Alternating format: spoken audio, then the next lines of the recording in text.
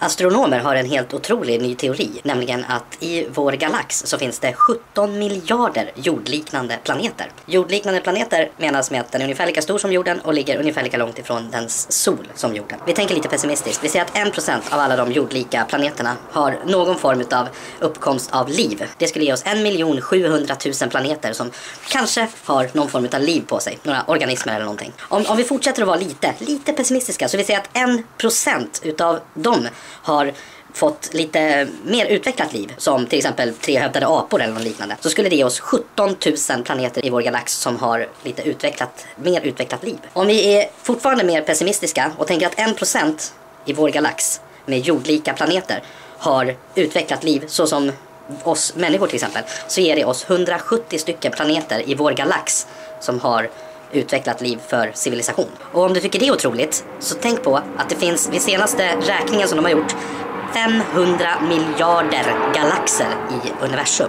Vi tänker lite, vi räknar med att det finns 400 miljarder galaxer i universum. Om vi säger att var och en utav de 400 miljarder galaxerna skulle ha 170 planeter med civilisation så ger det oss i runda slängar 79 900 miljarder planeter med civilisation. Om vi då tänker att det kan ju vara massa saker som slår ut en civilisation. Det kan ju vara kometer som slår in i jorden och så. Så att vi drar bort 99% utav alla de civilisationerna så skulle vi ändå hamna på 799 miljarder civilisationer i universum.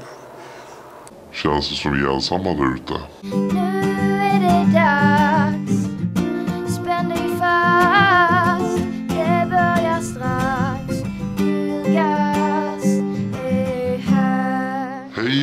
välkomna till vloggen idag. Jürgens heter jag. Hallå!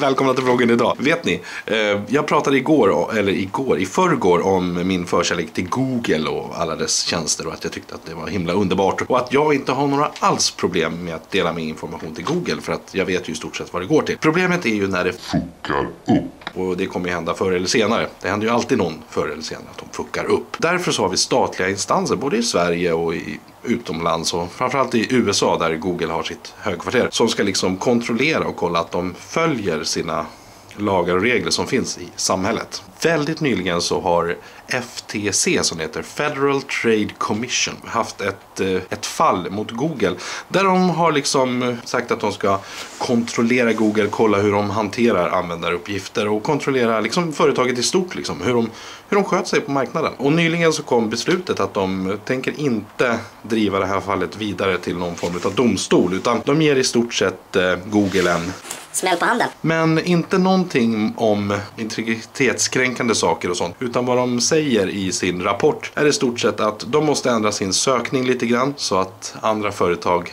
kan dels hoppa ur AdSense och annat och flytta över sina grejer mycket lättare. Plus att de säger till Google att ni får inte använda eh, vissa patent som är sådana här standardpatent som Google har köpt in via Motorola. Eh, Google köpte upp Motorola för ett tag sedan för att just kunna använda som skyddsmekanism mot typ Apple och Microsoft som gillar att stämma folk. Så när Microsoft stämmer Google så slår Google tillbaka med eh, en stämning tillbaka helt enkelt. Problemet för Google är ju att de är har ju för det mesta, de kör ju för det mesta väldigt öppen, öppen källkod och öppet det allra mesta. Så de har ju inte speciellt mycket patent Google. Däremot så köpte de ju upp Motorola, ett mobilföretag, Motorola Mobile köpte de upp och de äger grymt mycket patent. Problemet är bara att de flesta av de patenten som Motorola äger är sådana patent som man måste licensiera ut till en rimlig kostnad för att eh, de är standardpatent. Liksom. För att kunna få en 3G-mobil att fungera överhuvudtaget så måste man ha det här patentet. Det har liksom med standardiseringen att göra. Det fick FTC.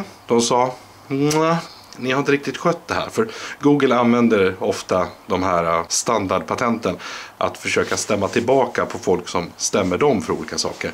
Eh, de har inte riktigt skött det här bra så vad de gjorde häromdagen var att de la ner de drog tillbaka en av stämningarna till Microsoft med just ett sånt här standardpatent. Så att där har ju affären som de gjorde med Motorola har ju gått lite i stöpet för ja, de kan inte riktigt använda de patenten på det sättet de ville. Så att det var som att kasta pengarna i sjön kanske. Men i alla fall, det var typ det enda som FTC eh, slog ner på. Vilket jag tycker är förkastligt, måste jag säga. Varför gjorde de inte en mer ordentlig undersökning av Google. Det, alltså det de kom fram till var i stort sett att kunder har inte råkat ut utav Googles sätt att hantera business. Däremot så har konkurrenter fått lite svårare och därav den här slaget på handen så att säga. Men eh, jag tror Google är också uppe i Europa Europa handelskammaren typ. Där de också håller på att bli kontrollerade om de sköter sina business. Jag hoppas att Europa kör lite hårdare för att det här är grymt viktigt. Det är väldigt, väldigt många som är integrerade i Google och har sina grejer i Google och använder Google-tjänster. Så att det, det, är jätteviktigt att de sköter sig och det är därför som jag tar upp det här för att jag tycker att det är, är grymt viktigt. Och jag tycker att om ni inte har någon koll på det så sätt er gärna in i det. För Självklart har ju Google sitt motto Don't be evil. Och sköter de inte det så är det ju inte det speciellt bra. Då blir det kaos! Eh, men det var det som jag ville, som jag ville tala, tala om idag. Liksom. Att eh, jag tror inte Google är liksom ängeln som sitter på axeln och bara mm, We are so beautiful and fine. Utan eh, de är ett företag som alla andra och självklart vill de tjäna pengar. Och de allra flesta företag tjänar pengar på fula fasoner och jag tycker inte, jag vill inte att Google ska hamna där och men jag misstänker att de är säkert redan där. Därför är det tråkigt när sådana här statliga företag eller statliga kommissioner och sånt lägger ner undersökningar. Uh, ja, ni förstår vad jag menar. Det är kaos bara. Det är kaos! Här. Hej, det är jag som är Jurgas mamma. Nu ser du till att prenumerera på min sons kanal